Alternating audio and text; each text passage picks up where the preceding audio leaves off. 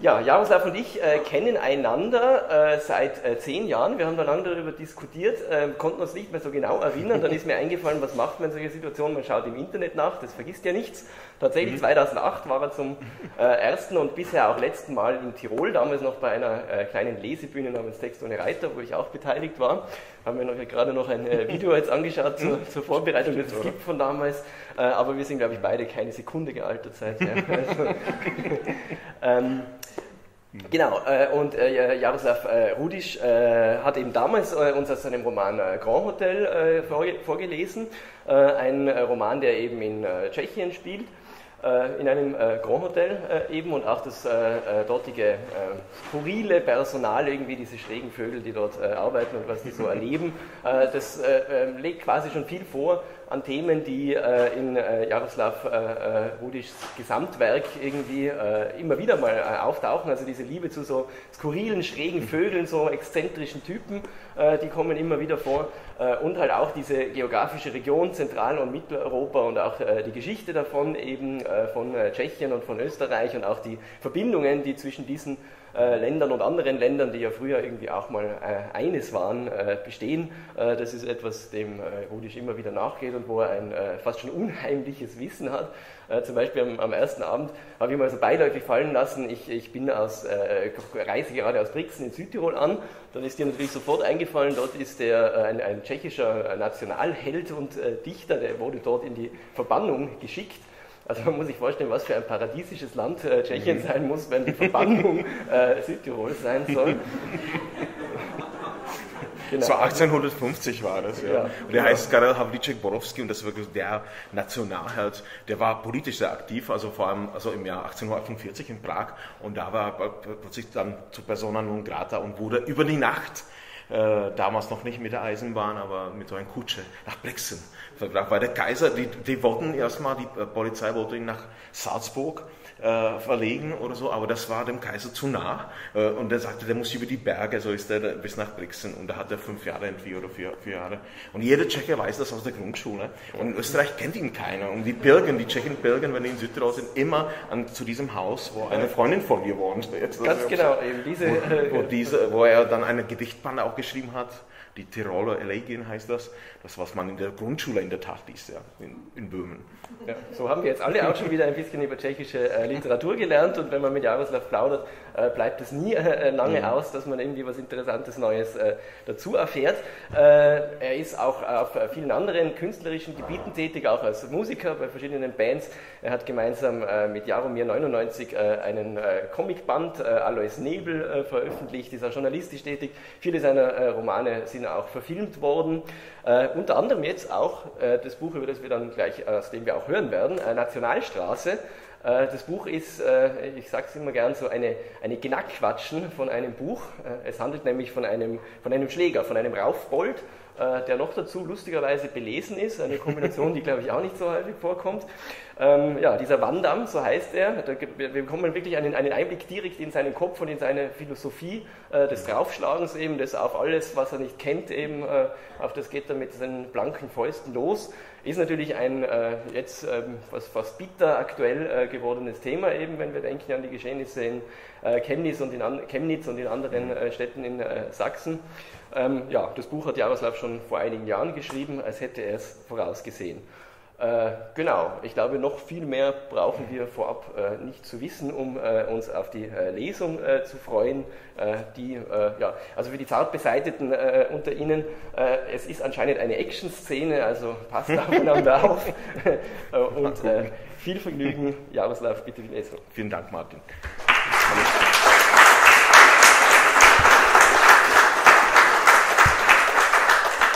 Ja, Nationalstraße ich habe das 2013 ähm, geschrieben nach einem, äh, 2012, 2013, nachdem ich einfach diesen Typen in, in einer Prager Kneipe getroffen habe, ein belesener Schläger tatsächlich, das trifft man, solche Leute trifft man nicht äh, jeden Abend in Prag in einer Kneipe, äh, der sich ja prügelt, aber dann zugleich Lyrik und Bücher über Geschichte liest und Romane liest. Äh, und Nationalstraße, warum Nationalstraße? Das ist eine sehr bekannte Straße in Prag, äh, die äh, Wenzelsplatz mit dem Nationaltheater und mit der Moldau verbindet. Und da hat sich am 17. November 1989 eine Demonstration abgespielt, die wurde brutal von der Polizei zusammengeschlagen. Und das war der Anfang der politischen Wende vom Umbruch in der Tschechoslowakei damals. Und mein Held, dieser Schläger, war da und hat den ersten Schlag gegeben, sozusagen. Und fühlt sich irgendwie für das Land verantwortlich. Und jetzt hockt er äh, am Stadtrand von Prag in einen von diesen vielen äh, Kneipen, äh, in diesen Plattenbausiedlungen um Prag herum. Äh, da sitzt er und schaut einfach, was mit dem Land, was mit Europa, was mit uns passiert ist. Und ja, und wenn und prügelt sich ab und zu, ja, und, und so. Ja, und es, es geht auch um den Wald, der um, um Prag herum immer war und im ganzen Mitteleuropa. Und da fange ich jetzt ganz kurz in den Wald und dann geht es in die Kneipe gleich direkt. Die Kneipe heißt Severka, äh, das Deutsch sowas wie Polarstern oder zum Polarstern. So hießen viele Kneipen in diesen Plattenbausiedlungen, weil die meistens im Norden von den Städten äh, waren und dann ist denen nichts Besseres eingefallen, als die Gashäuser zum Polarstern zu nennen. Eigentlich sehr poetisch für diese sehr brutale Welt. Hörst du die Stille, die dumpfe Stille? Spürst du sie, die dumpfe Stille von unserem Wald? Siehst du die Schatten im Gebüsch? Das sind meine Krieger. Sie kommen. Schon nehmen sie Platz auf dem Steinkreis unter der Ulme, die alten Krieger. Rück zur Seite. Leg ein paar Scheite nach, schenk ihnen ein, mir auch, dir auch, ordentlich, damit aus dir ein Vollblut-Kerl aus Stahl wird, kein Weichei aus Plaster Elaste. Meine Krieger. Die Nacht wird lang und kalt. Meine Krieger. Sie werden uns alte Geschichten erzählen, die gar nicht so alt sind, wie man meinen könnte. Meine Krieger. Es sind immer die gleichen Geschichten, unsere Geschichten. Es gibt keine Lichter, es gibt keine Stadt, es gibt nichts mehr, es gibt nur diesen Wald, es gibt nur diesen Sumpf, es gibt nur die alte Ulme. Nationalstraße. Aber du trainierst doch, Junge, ich sehe das. Nein, kein Wort, halt die Klappe, verdammt. Mir brauchst du nicht zu erzählen, ich kriege es auf zehn Meter, ob einer trainiert oder sich lieber von der Glotze einen runterholt, ihm beim Zappen durch die Sportkanäle bei einer blonden Wetterfee landet die, und ins Grübeln gerät, ob die sich ihre Pusse rasiert oder nicht. Ich weiß, ich weiß, die Weiber von heute rasieren sich. Die Weiber von heute wollen wieder Kinder sein. Und bei Männern, die sich rasieren, ist das genauso. Kindfrauen und Kindsmänner, diese Verweichlichung, die wird kein gutes Ende nehmen. Aber das ist eine andere Geschichte. Sag mir lieber, wie viele Liegestütze am Tag schaffst du so? 30? Jeden Tag? Echt? Gut, gut, gut. Ich sehe doch, dass du nicht lügst. Ich sehe sofort, auf wie viele Liegestütze, äh, auf, auf, auf wie viele Liegestütze so ein Typ kommt. Aber weißt du was? Mach mal dreimal 30. Und in einem Moment, Monat, in einem Monat oder spätestens in zwei, kannst du dir jemanden aussuchen, den du in die Mangel nimmst. Damit du weißt, wie sich das anfühlt, wenn du einen in die Mangel nimmst. Damit du über deine Kraft Bescheid weißt. Damit du das Gefühl kennst, wie das ist, wenn du feierlich siegst und jemand anders unfeierlich verliert. Das muss man üben. Heutzutage ist das alles schon in Vergessenheit geraten. Genauso wie das, was am Anfang von jedem menschlichen Tun steht. Na, ist der Groschen gefallen? Die gute, alte Handarbeit. Grins nicht. Du kommst mal gerne drauf zurück, wirst noch mich an, an mich denken, weil ich weiß, dass es im Krieg wie im Leben und in der Liebe so und nicht anders läuft. Immer geht man gegen andere vor, gewinnen tut aber nur einer. So und nicht anders liegt die Welt. Und wenn du einen in die Mangel nimmst, dann hast du das auch schon begriffen und tappst nicht mehr im Dunkeln. Du lässt einen seine Erfahrung machen und mach selber eine. Das ist mein Credo. Hart, aber sauber und verdammt einfach. Verlieren kann jeder, gewinnen nur einer. Hast du dich mal schon geschlagen? Auch in der Schule nicht? Nicht mal rumgebarkt? Auch nicht wegen Mädchen? Junge, Junge, Junge, Junge. Aber ich sage dir, Gott sei Dank ist es nie zu spät. Anfangen, das geht immer. Du betrittst eine Kneipe und siehst dich um. Kannst gerne auch einen Spielsalon oder eine Diskothek nehmen oder probierst mal ein Theater oder im Kino. Ich gehe am häufigsten in eine Kneipe meistens zu uns in die Severka, wo früher auch mein alter, dein Großvater hingegangen ist, bevor, bevor er seine Eigenweide rausgekotzt hat. Der hat am gleichen Platz gesessen wie ich heute. Also du kommst rein passt die Lage. Die glatzköpfige, todbringende Maschine da hinten, von der Liebe die Finger weg. Die zwei vorne, die könnten Probleme machen. Ihre Armmuskeln siehst du zwar nicht, aber ihre Nacken erinnern an zwei geduckte Stiere. Der da, das ist ein dünnes Hemd, ein typischer Kenzmann, mit dem bringt das nichts. Den haust du nur an und schon ist er weg. Aber die drei, die könnten gute Gegner sein. Ich mag's gerne gerecht. Jedem die gleiche Chance. Das nennen die Frauen, Frauen heute Emanzipation, oder? Gleiche Chancen für alle. Ich bin emanzipiert, ich bin Van Damme. Zuerst ganz relaxed. Ein Bier, ein Rum, eine Fluppe, Salzstangen und noch ein Bier. Dazwischen lässt du ab und zu den Blick nach Weibern schweifen, aber in Kneipe wie der Severka gibt es kaum welche, keine Ahnung warum. Die einzige Frau, auf die man bauen kann, ist unsere Silva am Tresen. Silva ist neu hier, Silva macht auf raue Schale, aber das machen heute alle, damit wollen sie dich nur reizen und provozieren, damit du zeigst, dass du härter bist als sie, damit du sie besiegst, nur dann lieben sie dich. Keiner will einen netten Süßen haben, egal wie oft sie das auch sagt. Nett heißt blöd, merkt ihr das. Silva ist eine Primaschnalle. Bei ihr ist alles am richtigen Platz. Helles blondiertes Haar, knackiger Arsch, schlanke Beine und Brüste, die perfekt in der Hand liegen.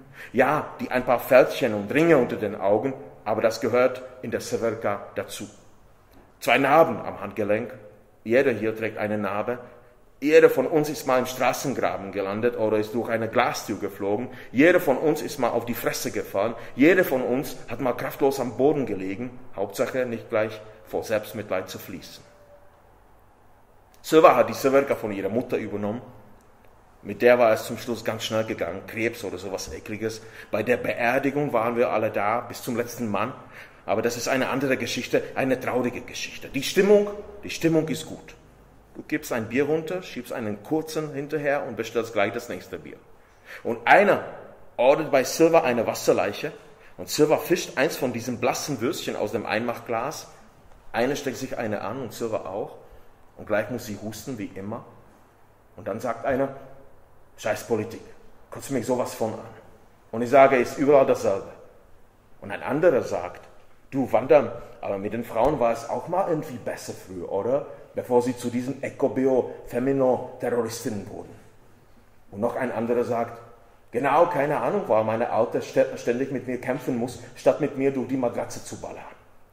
Und ich sage, such dir eine jüngere. Und ein anderer sagt, die sind noch biestiger. Und noch ein anderer sagt, aber warum quält die mich so, Mann? Und ein anderer sagt, vielleicht magst du das, gequält zu werden. Und noch ein anderer sagt, ist doch Unsinn das alles. Und Froster mein einziger Freund steht auf und sagt das, was er immer sagt. Die Welt besteht aus Unsinn. Und er lacht als einziger darüber. Und ich sage, das geht wieder vorbei. Und ein anderer sagt, wie vorbei. Das hier steckt auch alte Frauen an. Neulich wollte meine Alte tatsächlich, dass ich mich zum Pinkeln hinsetze. Und ein anderer sagt, du sitzt beim Pinkeln? Und ich sage, ich auch. Und noch ein anderer sagt, ich weiß es nicht, wann dann du? Und ich bruste vor Lachen, beim Bissen sitze ich nie. Ein Mann ist ein Mann, eine Frau ist eine Frau, eine Frau steht beim Bissen auch nicht. Wenn sie es könnte, würde sie das tun. Oder Silva? Und Silva sagt, ich kann es ihm stehen. Und die Männer sind hin und weg. Und einer sagt, zeig mal. Und Silva sagt, träum ruhig weiter, nichts da. Das gefällt mir. Silva kann gut Krauen rausfahren. Silva ist keine Kindfrau. Silva ist eine Prachtschnalle. Silva ist meine Wortfrau. Da lächelt sie ein wenig und ihr Lächeln ist wie eine Wucht und ich lächle auch. Und einer sagt, da ist was dran und ich sage, das geht alles wieder vorbei. Guckt euch nur die ganzen Kriege in der Weltgeschichte an. Früher oder später dreht sich alles und bricht zusammen wie beim Dominospiel. Das Gespräch plätschert vor sich hin und wir trinken Bier.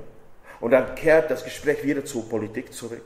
Und plötzlich merkst du, wie angespannt du bist, wie etwas in dir zittert. Und wenn einer keine, denn wenn einer keine Ahnung hat, wie das Leben in Böhmen läuft, dann sind das unsere Politiker. Bloß die verirren sich nie in dieser Werke. Und dann spürst du es. Du spürst, wie es langsam auf, aufzieht, wie es stärker wird, wie es vibriert, ganz sanft. Nicht in den Fäusten, sondern irgendwo ganz tief in deinem Körper, in deinen Adern, in deinen Venen, in der Tiefe, dort, wo dein Vulkan sitzt. Du spürst, Wer sich den Weg nach draußen bahnt, also passt du die Lage, du passt die Lage und findest einen immer. Man findet immer einen, einen, der sich raufen will, einen, der, den man in die Mangel nehmen kann, einen, der Probleme macht, einen, der wissen will, der wissen will, wie das Leben läuft. Am besten polierst du dem die Fresse, der es auch verdient, der einfach in die Fresse kriegen will, der nach Bestrafung ruft, nach Erfahrung, der wissen will, wie das Leben läuft.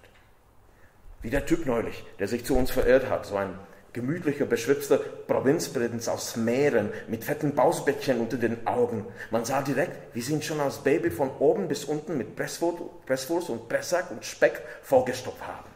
Der hat bestimmt an die 140 Kilo gewogen. So ein ordentlicher Jagdpanzer, mittleres Kaliber, so T-34, kennst du, wie bei den Russen.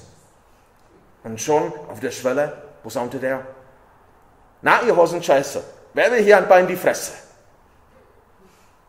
dumpfe Stille. Kapiert? Keine Grabesstille, keine leichte Sommerabendstille, sondern eine dumpfe, unheilverkündende Stille. Er schien es aber wirklich wissen zu wollen. Hey, wer will hier ein in die Fresse? Als erster knöpfte er sich Silva vor, das hätte er nicht machen sollen. Zunächst gibte er sein Bier über die Theke und dann sagte er, dein Bordell. Und dann sagte er, deine Nutten. Silva sah ihn an und sagte kein Wort. Silver wusste, was kommen würde. Froster stand auf, erster wie immer.